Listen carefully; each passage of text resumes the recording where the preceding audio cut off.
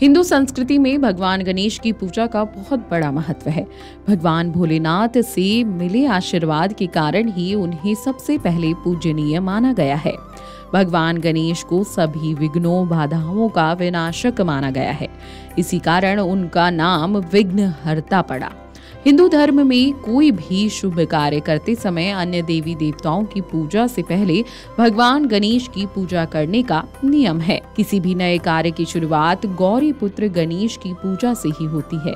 ऐसा माना जाता है कि भगवान गणेश की पूजा करने से आपको अपने काम में सफलता मिलती है और मनवांछित फल की प्राप्ति होती है।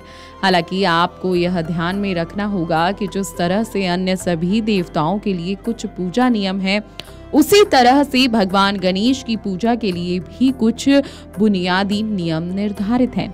खास तौर पर अगर आप अपने घर में पहले से ही गणपति बाबा की स्थापना कर रखी हो तब तो गणेश जी की स्थापना से जुड़े नियमों को आपको जानना बेहद ज़रूरी हो जाता है और उनका पालन करना भी।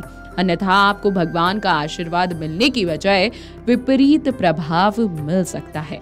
अब चलिए जान लेते हैं भगवान गणेश की मूर्ति स्थापित करने के सही नियम। अगर आप भी अपने निवास स्थान पर भगवान गणेश की पूजा करते हैं तो आपको उनकी पूजा से जुड़ी नियमों के बारे में पता होना चाहिए। तभी आपको मनचाहा फल मिल पाएगा।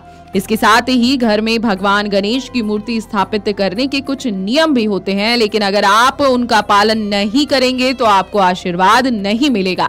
घर में रखने के लिए भगवान गणेश की मूर्ति या पेंटिंग की भी एक निश्चित संख्या होती है। जी हाँ अगर आप इससे अधिक मूर्तियाँ रखते हैं तो आपको दुष्परिणाम झेलने पड़ सकते हैं। इससे शुभ की जगह अशुभ फल मिलता है।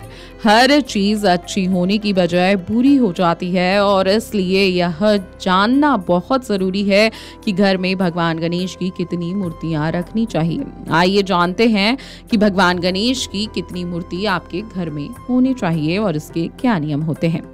वास्तु टिप्स के अनुसार भगवान गणेश की मूर्ति लाएँ। जी हाँ लेकिन सबसे पहले आपको ध्यान रखना है कि किस नियमों से मूर्ति को घर लाना है। जब भी आप घर या मंदिर में स्थापित करने के लिए भगवान गणेश की मूर्ति लाएँ तो उनकी सूंड का ध्यान रखें।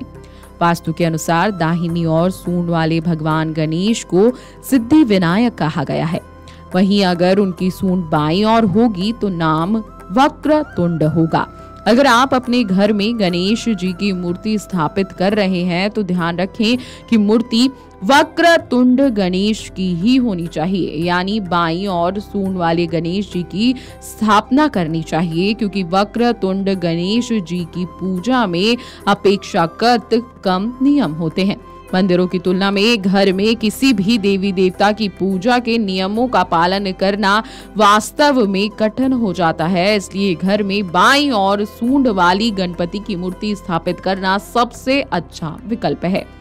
बात हो रही है सिद्धि विनायक गणेश जी की, जिनकी सूंड दाहिनी और है। आपको अलग अलग नियमों का पालन करना होगा अलग अलग नियमों को आपको ध्यान में रखना होगा।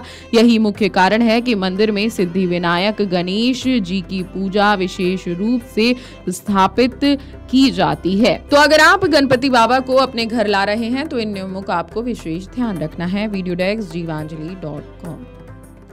अगर आपको हमारा ये वीडियो पसंद आया हो तो हमारे चैनल जीवांजलि को सब्सक्राइब करें।